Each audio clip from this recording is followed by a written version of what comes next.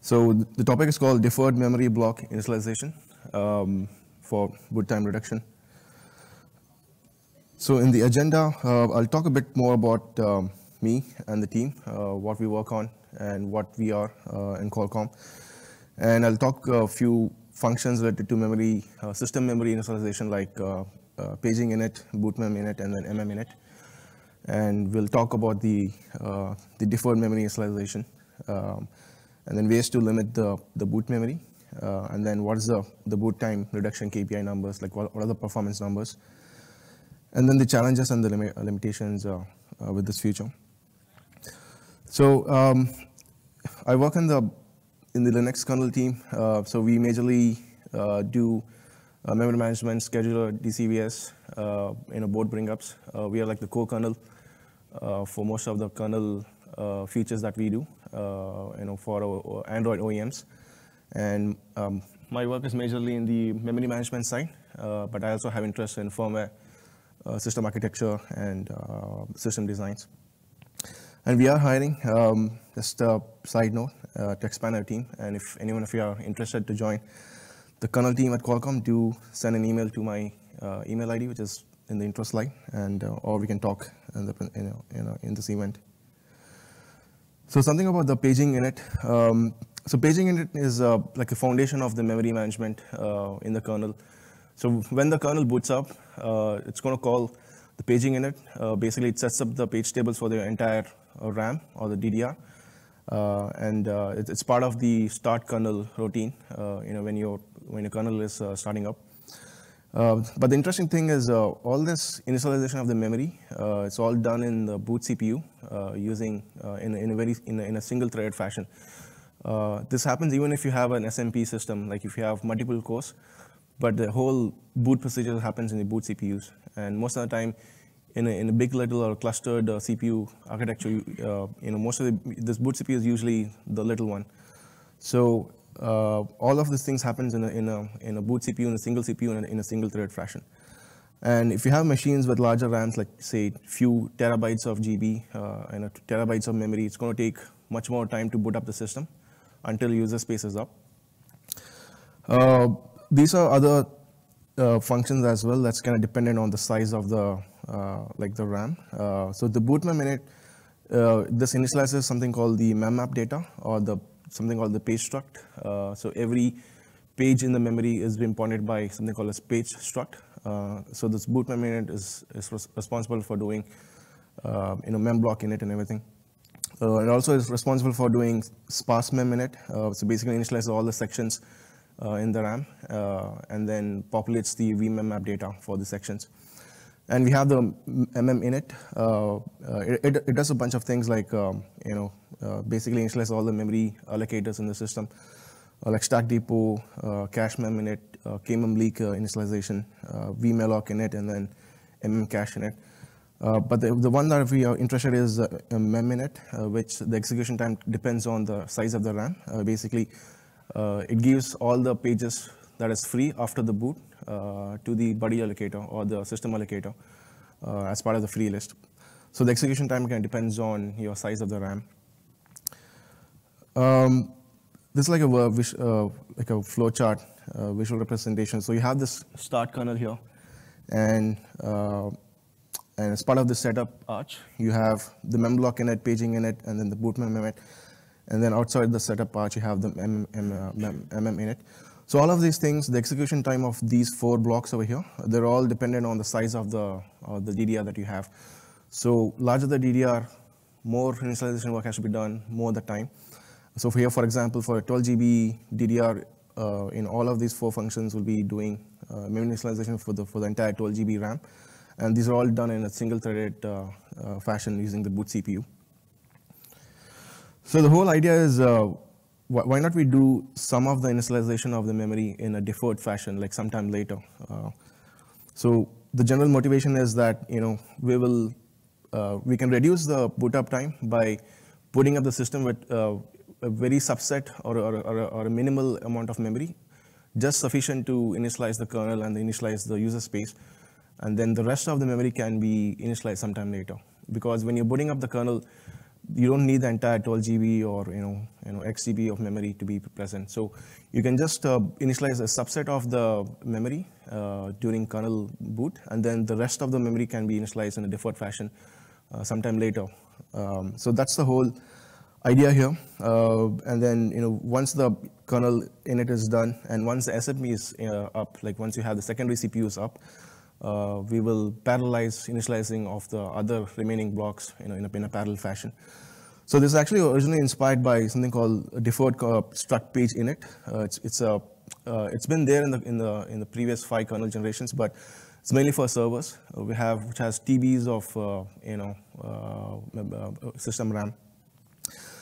Um, so initialization of the C, um, remaining memory is done uh, using k-threads. Uh, uh, that's what the deferred struct page init does in, in, a deferred fashion, and it uses something called you know like deferred probe mechanism, uh, where once all the drivers are are up, uh, and then you know this feature kicks in, and then as part of the deferred probe, it initializes all the rest of the remaining memory. Uh, possible impact is you know the, since we are initializing at the end of the kernel, it, it, might impact some of your other functions, which will be running at the end of the kernel. Uh, so there'll be a minimal performance impact. Uh, but what we observed is very minimum that it's, uh, you know, it's part of the noise. And uh, this overall saves several milliseconds, uh, you know, depend, depending on how much GB of memory you're trying to do in a deferred fashion. So that'll save you several milliseconds of your boot time. And I'll explain more about how much, what are the KPI numbers for this. So this is a visual representation. Um, so for example, if you have a 12 GB DDR, uh, the first 2 to 2, 3 GB, which is sufficient to initialize the kernel or to initialize the user space, uh, you know, I, I do it using the bootmem init. Uh, basically, I say that, hey, kernel, you know, you have only 2 GB or 3 GB, just initialize with this memory. And then the rest, uh, 9 or 10 GB, I do it in a deferred fashion.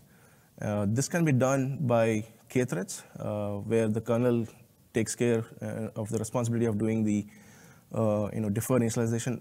Or you can use user space uh, where you have flexibility to you know, add few memory to a different particular nodes and then zones, memory zones in the system and also gives you the flexibility to uh, you know uh, add X amount of memory to this zone and X amount, you know, Y amount of memory to other zones. Um, so yeah, the general idea is boot up with just minimum RAM over here, and then the rest of the memory you add it later on. Uh, so from the device boots, kernel inits with this 2 GB, uh, and then once the Android init or basically your user space init is done, uh, you use any user space entity to add the remaining memory in a deferred fashion. Uh, and that of course comes to the kernel.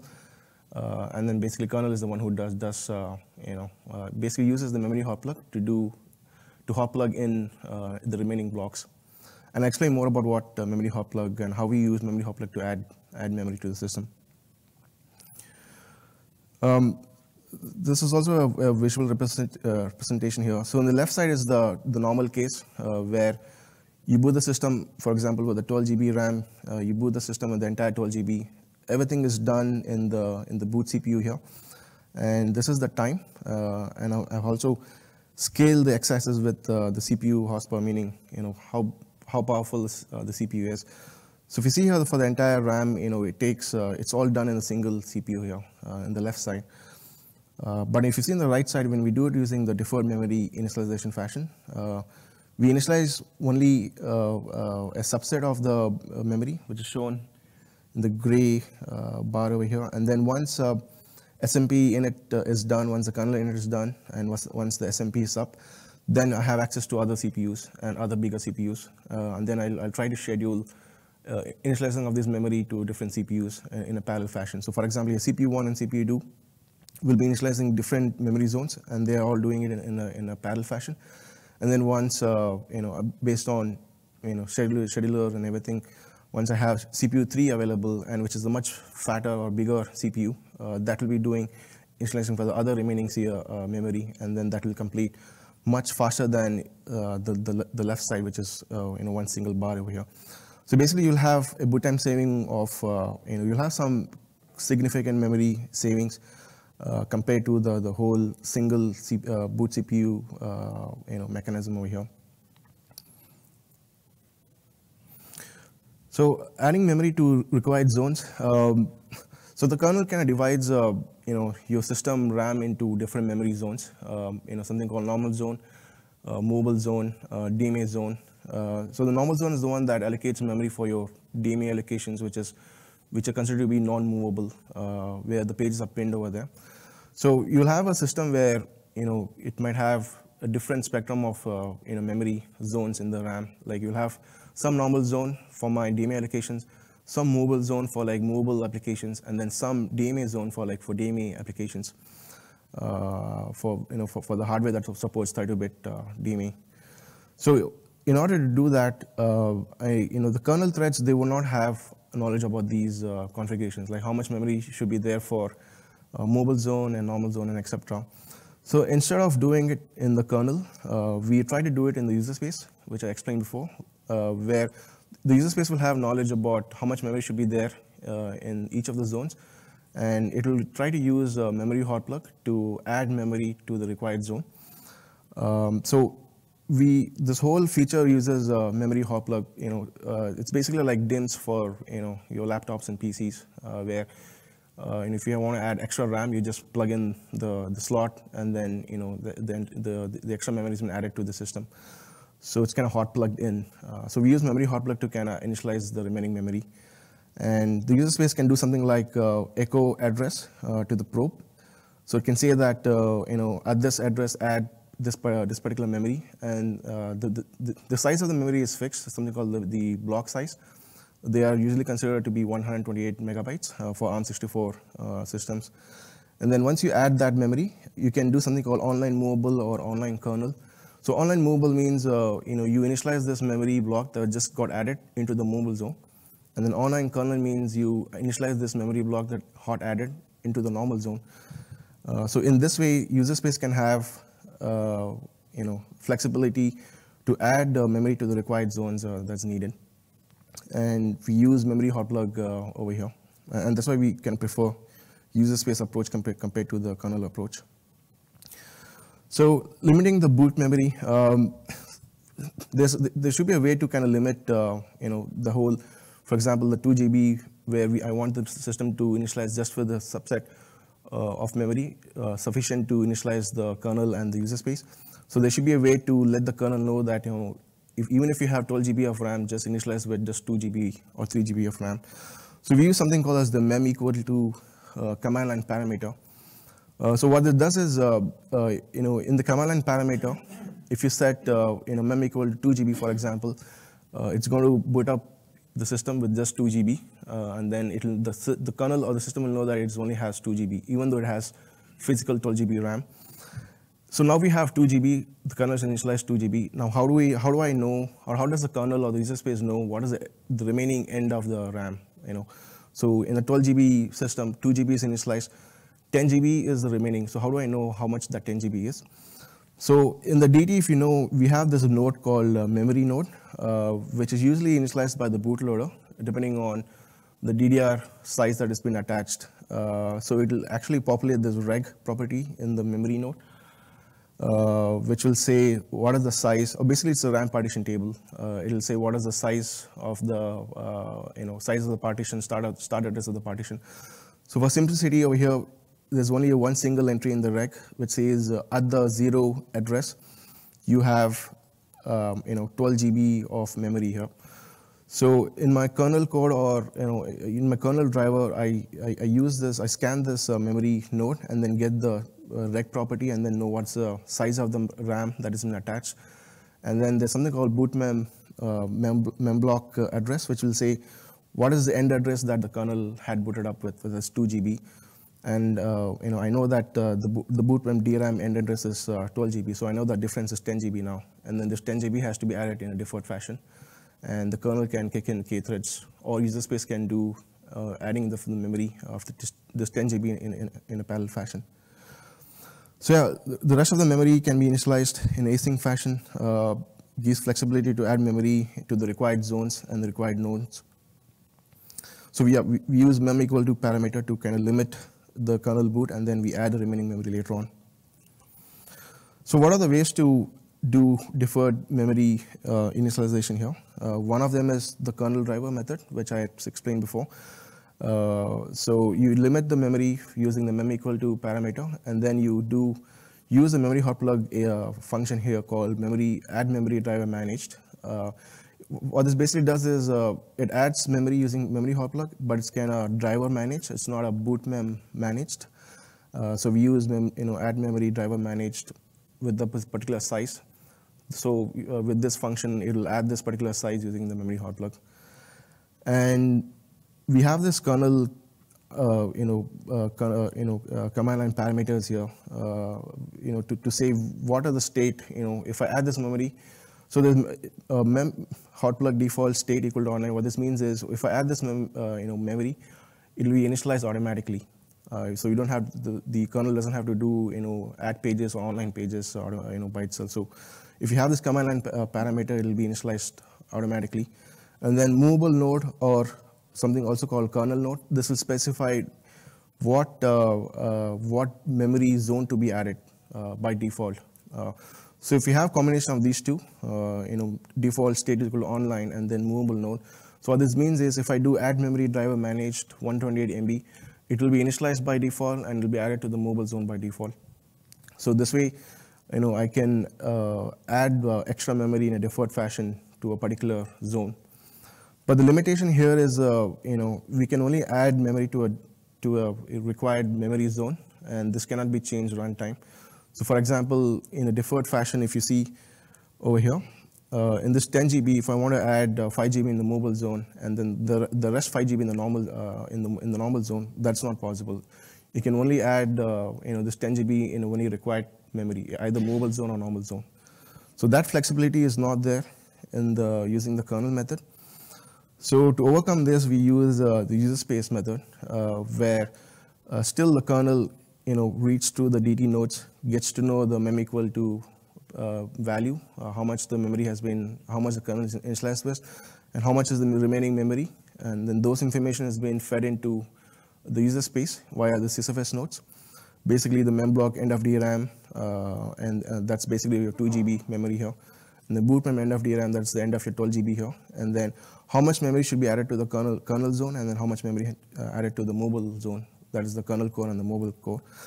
So this way, you know, you know, uh, the user space will have flexibility to add required, you know, the memory to the required zones, uh, which was not there in the kernel zone, uh, in the kernel method. But here, you know, since it's, it's, we have to do it in the user space, uh, you know, we have to wait until the user space is done initializing. So there'll be a bit of a delay where your entire RAM has been initialized. So here's one example. Uh, so boot mem size equal to 2 GB where if I have mem equal to 2 GB, so the system initializes it with 2 GB during boot. But my DRAM size is 12 GB, where I have a 12 GB, 12 GB DDR attached to the system. And then in one of these DT property, I have mobile core equal to 5 GB. Uh, says, you know, I, I, need 5 GB of mobile zone. So the remaining memory is, uh, you know, 12 minus, uh, 5, 12 minus 2 minus 5, which is 5, 5. This will be considered to be put in the, in the normal zone, which is the kernel core memory. So your RAM will be something like this, where the first 2 GB will be added by the, the, by the boot, during boot, uh, and then the next 5 GB will be added by the user space using memory hot plug, uh, and will be added to the kernel core. Basically, this 5 GB in the normal zone. And then the next 5 GB will be hot plugged in into the mobile zone using the mobile core. Uh, so this way, we will have flexibility to add uh, you know, memory to different zones using memory hot plug. So boot time reduction, um, we have implemented this feature uh, as, as part of a different uh, uh, mechanism uh, in, in SM8550 uh, with 12 GB of RAM. Uh, and then with experimentations, we have seen that we get, you know, by limiting with just 2 GB during boot, we see that we get about 160 to 200 milliseconds in a boot KPS savings. So this is roughly uh, this boot KPS savings by you know adding 8 GB in a deferred fashion. And uh, so there's roughly like 20 to 30 millisecond of uh, boot time reduction per GB. So if you have a system with much larger RAM, uh, you know 12 or 16 or 24, You just boot up with 2 GB and the rest of the RAM can be initialized in different fashion and then you will have uh, a considerable amount of uh, you know, boot saving. So here 200 milliseconds is one fifth of your second. Uh, you know, according to our performance team, you know, even if you have one millisecond of boot time savings, it's a, you know, it's a plus. And we get this without any any loss. Like there's no uh, there's no drawbacks. Uh, you know, there's no performance impact, uh, and there's there's no you know there's no process or or, or tasks that actually need your entire 12 GB during boot. So it kind of makes sense to just boot up the system sufficient to initialize kernel and the user space, and then the rest of the memory can be initialized uh, in deferred fashion later on. So this is observed by uh, profiling paging init and then the boot init. Um, we do have some uh, scripts that we run uh, uh, that captures the overall boot KPIs from the bootloader till the kernel init to, uh, to the kernel modules init to the native daemons and then to the user space init to the HAL init. So we do see that uh, you know the kernel load uh, and the, uh, the kernel module load times those, those are all reduced uh, using this feature. But there's a bit of a catch there, um, which I'll explain. Uh, uh, it's that the paging init, the, the boot mem init, and the mm init, these functions are the ones which will actually shrink if you have if you initialize with a you know lesser RAM, uh, lesser memory initially. But the, the, but the catch here is uh, you know uh, these functions are, are, are are done before the time init has been done. So basically, your kernel time will not be available uh, you know before. Uh, uh, you know, or, or your kernel time will not be available after your paging init, boot init, and mm So there's no way to kind of, or there's no way to rely on the kernel time to capture this boot KPI numbers. So we have to do something different. So we have to use some uh, some other hardware timestamps or clocks uh, to kind of brute force a way of uh, getting the counter values and then you know determine how much time it uh, took from kernel start till you know uh, the uh, till the end of the kernel init. So we had to use some of the hardware clocks or timestamps that we have in our hardware, and then you know that's because we couldn't rely on on the kernel time because the kernel init is not available yet. Um, so the challenges uh, over here, it requires memory hot plug support to be enabled. Um, so the memory hot plug support is present in ARM64. Uh, it's, it's, obviously there in x86 uh, architecture as well. Uh, so it needs uh, you know memory hot plug to be enabled. And uh, so, so the full parallelism, though we say that we, we can initialize the rest of the RAM in a deferred fashion, it's not that mostly you achieve 100% parallelism. That's because of the zone lock.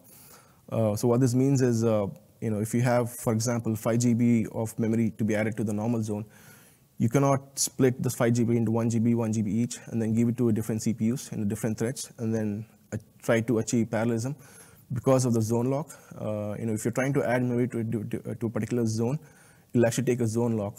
So other threads that are trying to act, uh, add memory to the same zone that will be waiting uh, until the zone lock has been released. But if you're trying to add memory to a different uh, zone and in a different node, that that time you can achieve uh, you know parallelism. For example, one of the CPU can add memory to the mobile zone, another CPU can be adding memory to the normal zone, and then those those two can happen in parallel. But you cannot achieve 100% parallelism because of the zone lock. Uh, so there's a, uh, there's a bit of a you know uh, kind of leverage been taken out over here. So determining the initial size that you want to boot up the kernel with uh, that is sufficient to boot up your kernel or your user space. Uh, this is uh, this is also a challenge. you know, I've been saying 2 GB for your 12 GB RAM. we have seen that you know for more, uh, you know, more matured Android versions or for OEM versions, uh, 2 GB is not sufficient. You know, they usually require 4 GB or 5 GB to boot up uh, Android. Uh, and then it's very hard to determine, uh, you know, for each, uh, you know, generations of a chipset or system, it's hard to determine what is the fixed value for this. So there has to be some bit of a work to be done to budget the memory and to know how much memory is sufficient and how much memory we should limit during boot. And as I explained, like capturing the boot time is hard uh, because the kernel time is not initialized yet uh, after the paging init and then the, uh, you know, the boot mem init and other ones.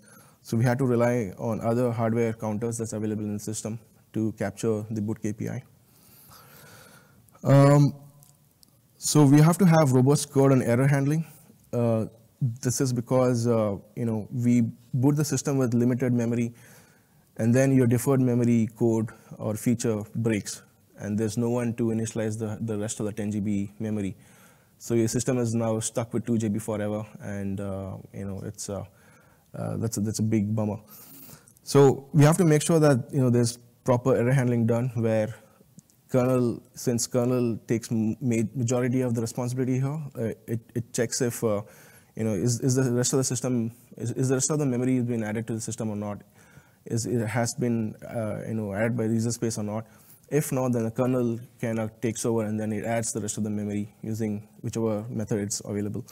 So you have to make sure that the error handling or the code itself, the features has to be robust so that once you boot up user space, whatever memory that's been there to the system has been initialized. And this might interfere with performance of the task that is uh, running early uh, you know, during boot. Uh, uh but this we did do some measurements uh, and we did not see any impacts uh, in any of the tasks that are running once the user space is up. it might be, it, it's very small that it's hidden inside the, in the noise in the, in the standard deviation. So um, this feature isn't uh, upstreamed yet. Uh, there has been a lot of uh, discussion internally in our company or in our team about what is the exact uh, uh, you know uh, savings that, that we have, and there's been a lot of discussions about you know is there actual parallelism being achieved? Is there actual you know boot KPI being you know reduced? Uh, and then after a lot of conclusions and experiments, we did find that, you know, and using the hardware counters, uh, hardware uh, timer and, and, counters to do the measurements, we, we concluded that there is a bit of a savings because there will be some parallelism achi achieved if you're onlining, if you're adding memory in a deferred fashion later on. So we haven't upstreamed the feature yet, but uh, right now we will be upstreaming it. Uh, we, will, we will be upstreaming it further.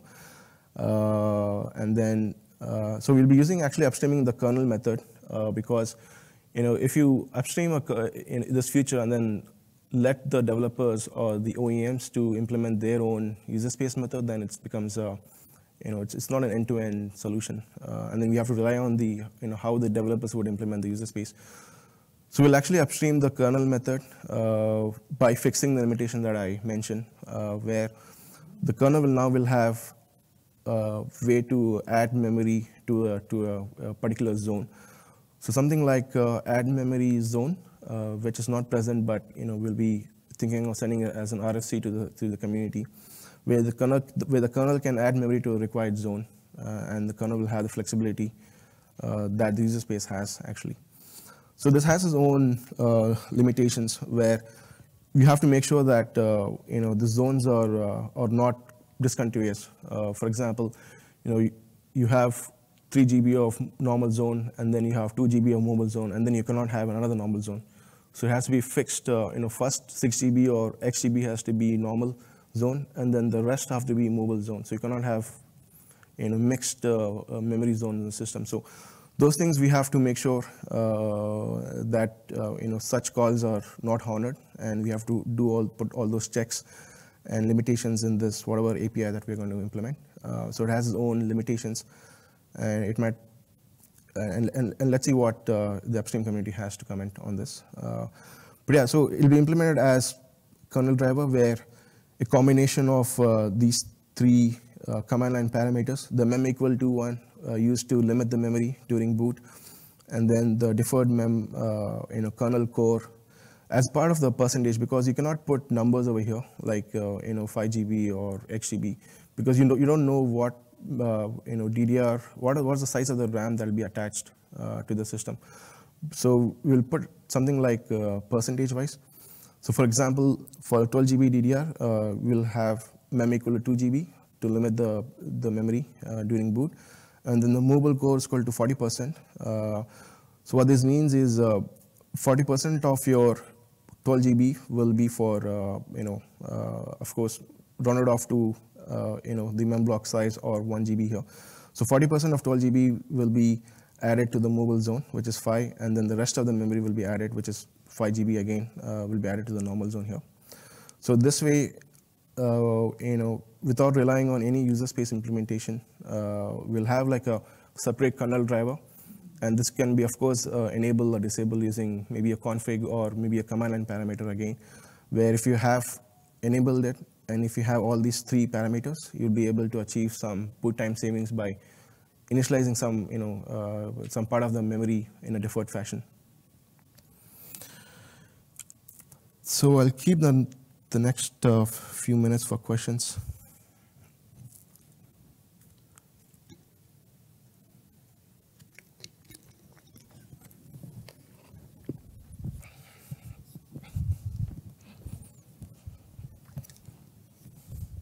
How do you want this?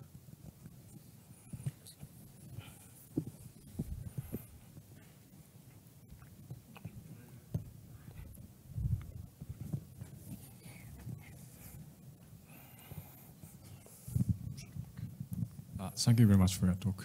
Uh, I have two questions. Uh, I'm I'm wondering uh, if this can somehow help to reduce power consumption by uh, may- maybe it needs to interact with the DRAM controller, but until the point we may actually want to have more memory, maybe we could turn off the some DRAM modules and uh, could get the, the reduced power consumption.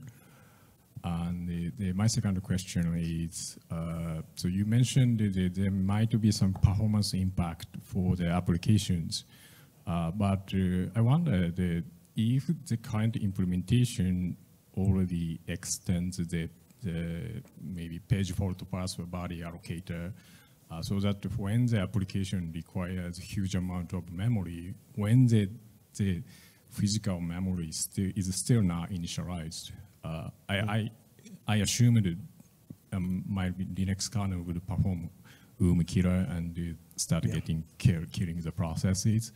Uh, but it's not performance impact. I think it's much worse than performance impact. So the, I, I wonder how you actually handle when the user space uh, tries to allocate more memory when the enough amount of mem- memory is not available. Okay. Yeah. So, for the first point about the the way of uh, turning off some memory for uh, initially for power consumption is that is that the question? Right? So yeah, we we did uh, uh, we did implement that feature. Uh, it's something called as uh, PASR partial array self refresh. And then I myself did you know present this in the LPC last year, where you know for example you have this 12 GB RAM, RAM over here. You won't need the entire 12 GB RAM, you know, for lightweight uh, usage of the system. Uh, so in that way, you know, you know, you can turn off let's say 5 GB of RAM uh, during lightweight usage of the system, and you can use this technology called PASR, partial array self refresh, to turn off the memory, turn off the self refresh currents, and then save power. Uh, so we do have implemented that, and uh, I have implemented, I've presented this as in LPC last year. Uh, but uh, another note to the power uh, power savings or, the power consumption uh, is that during deferred memory initialization, we do try to use the bigger CPUs, which will consume more power. And according to our performance team or power team, we don't care about power consumption during boot. You know, as long as uh, you know, as long as we can boot the system much faster by taking more power, uh, you know, we will of course try to uh, gauge that and then you know go with uh, more performance number rather than power. But yeah, we do initialize it. So the kernel driver does add memory assigned to the higher horsepower CPUs, and we don't care about the power.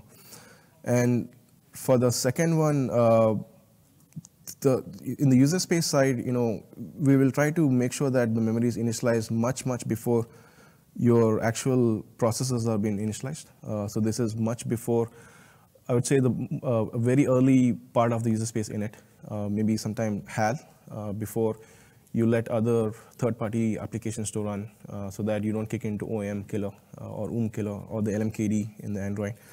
So this is way early in the user space init, where we initialize the memory and then, so if you see here the HAL init, HAL client init. So as part of the Android core and then HAL init, uh, we will initialize it. We will initialize all the memory in this, you know, uh, in this phase. And then once this completed, all the memory is initialized, and then we all the other HAL clients will be initialized. So So this will make sure that we will add all the memory uh, much before your other applica- user-space applications have been run. Thank you very much.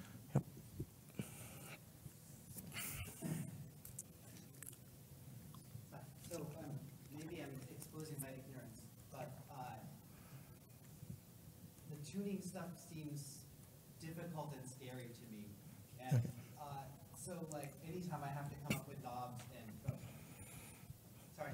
The tuning stuff seems difficult and scary, and maybe I'm ignorant, but anytime I see knobs, I don't want to, I don't want to have to come up with knobs and maintain those across kernel versions and boards and stuff.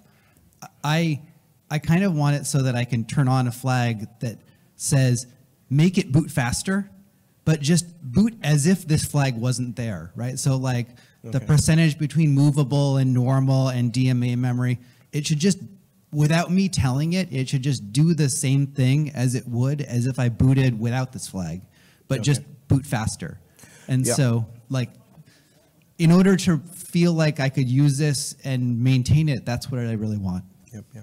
Yeah, I mean, I totally agree. I mean, uh, you know, uh, this whole pa- part of tuning and everything, it's it's uh, it's a time cumbersome thing, and uh, it's scary as well. And, uh, and every time we have a new chipset or a new system, we have to determine, we have to do this memory budgeting, do this whole math, and then do the percentage wise.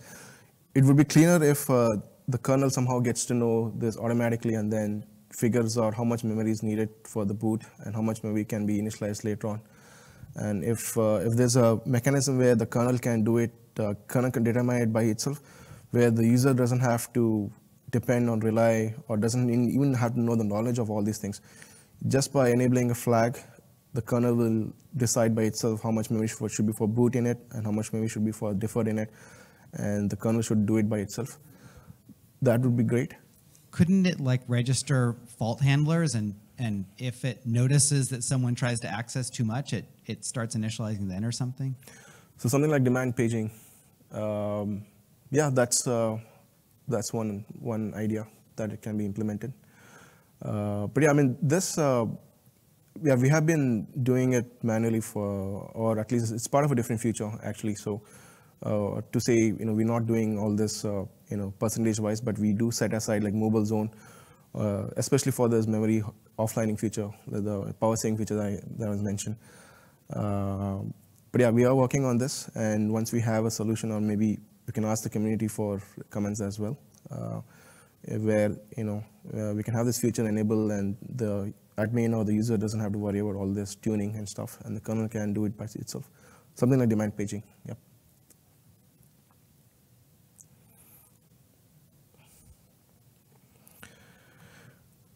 All right. Thank you.